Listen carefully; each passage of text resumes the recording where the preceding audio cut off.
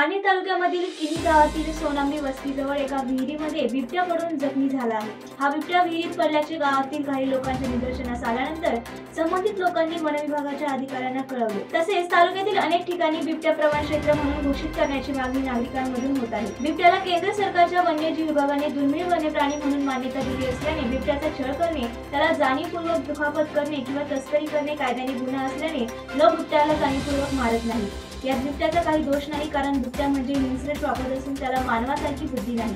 One विभागाने याकडे लक्ष देऊन बिबट्यांना दूर जंगलात मुक्त करावे. मायभूमी न्यूज आवाज जनमनाचा या चॅनलला सबस्क्राईब करा आणि बेल आयकॉनवर क्लिक करा.